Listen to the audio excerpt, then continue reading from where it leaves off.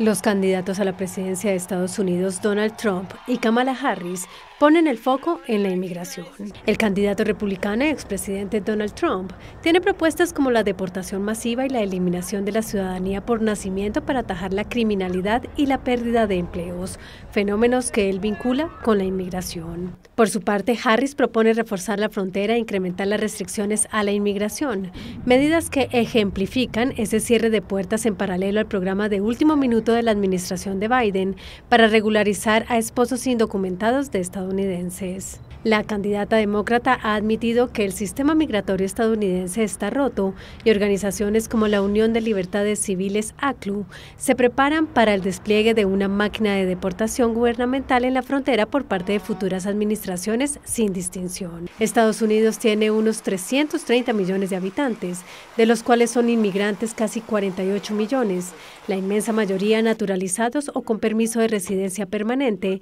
y dentro de este número, unos 11 no tienen documentación legal.